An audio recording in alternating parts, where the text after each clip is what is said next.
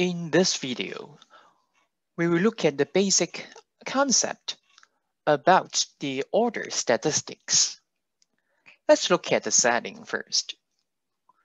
Suppose capital X1, capital X2 to capital Xn are n independent and identically distributed continuous random variables having a common density f and distribution function capital F we define capital X sub parentheses 1 to be the smallest of these n random variables, and capital X sub 2 be the second smallest, so forth and so on.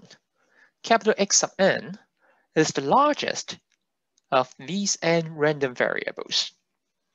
Then, these n newly defined random variables are known as the order statistics corresponding to the random variables x sub 1 all the way to x sub n.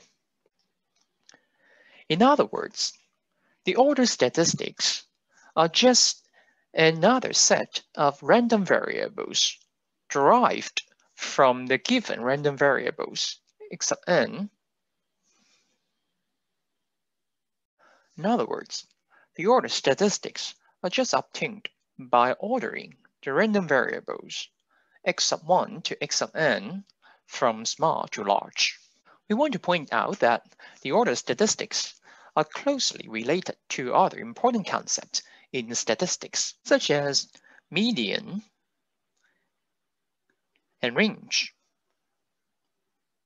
In fact, the median of a collection of samples is just the sample right at the middle when we list the samples from small to large.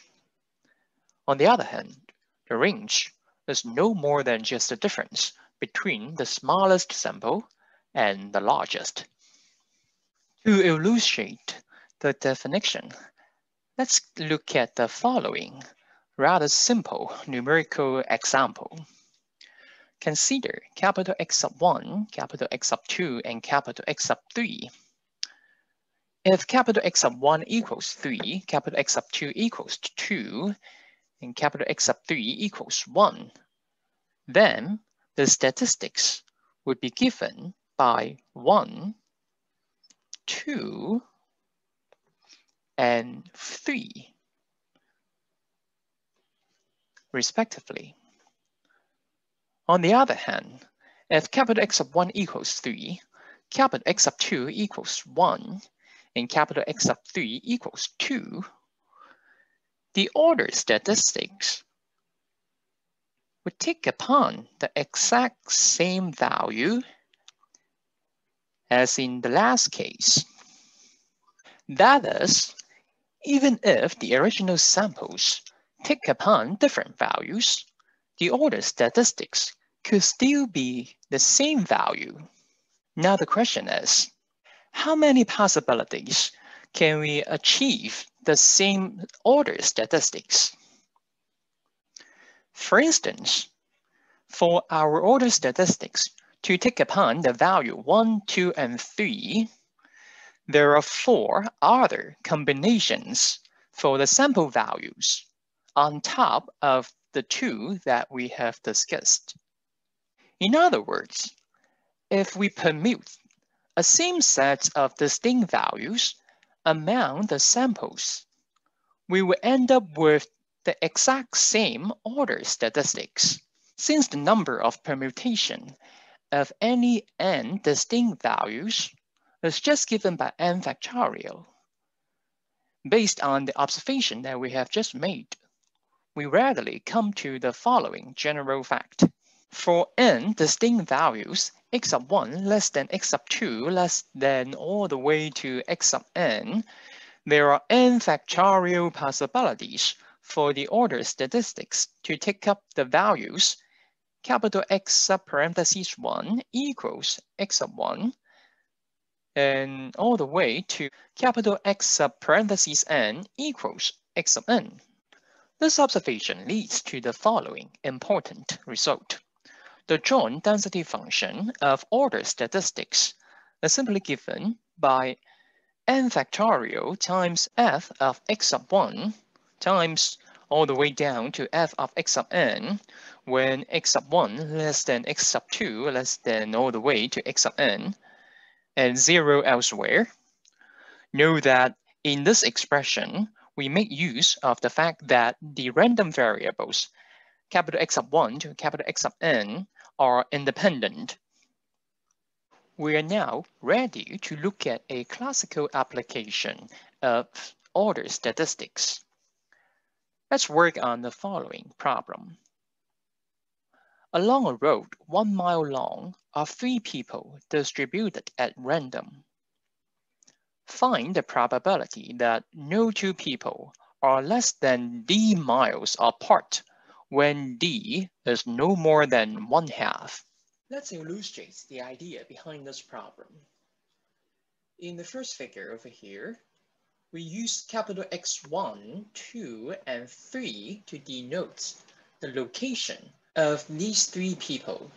In this particular distribution, the distance between those three people are one-fourth, one-fourth, and one-half.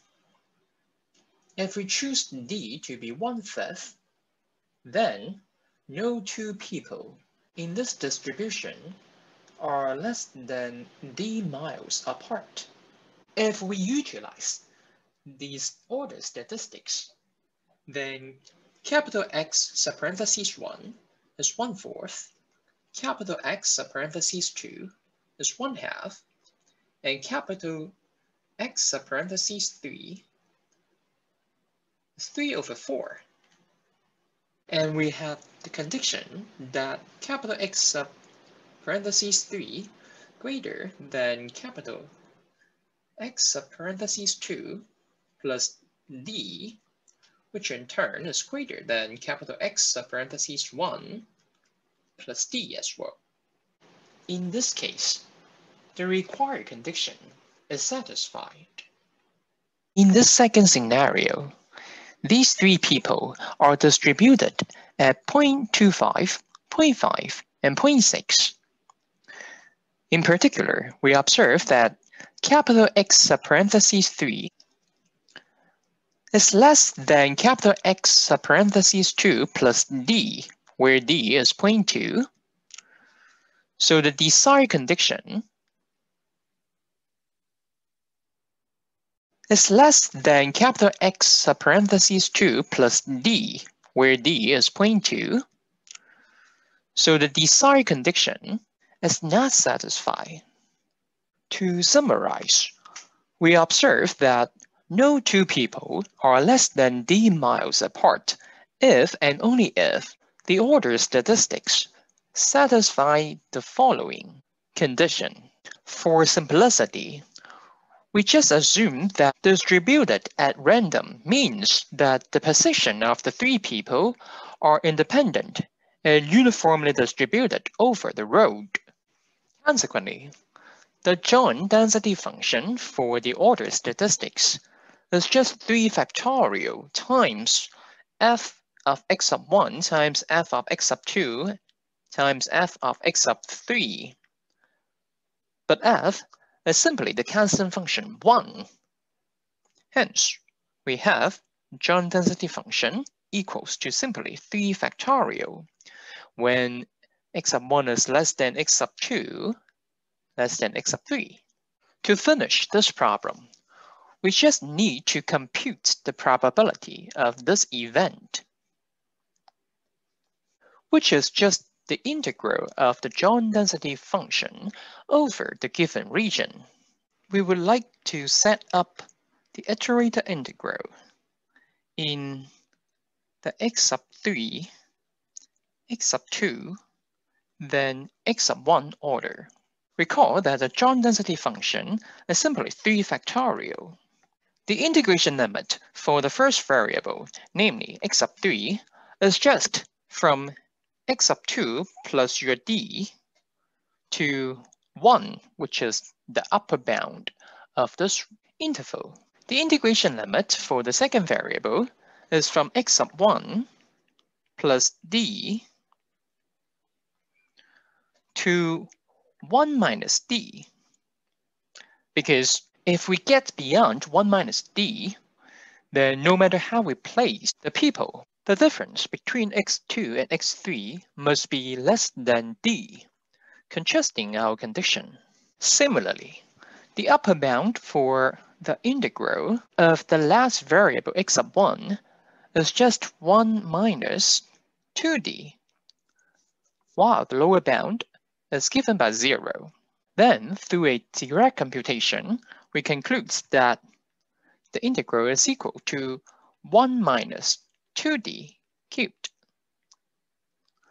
That is, the probability of no two people are less than d miles apart on this one mile long road is given by 1 minus 2d cubed. And this completes our first application of the order statistics. Thank you for watching. Until next time, have fun with the math.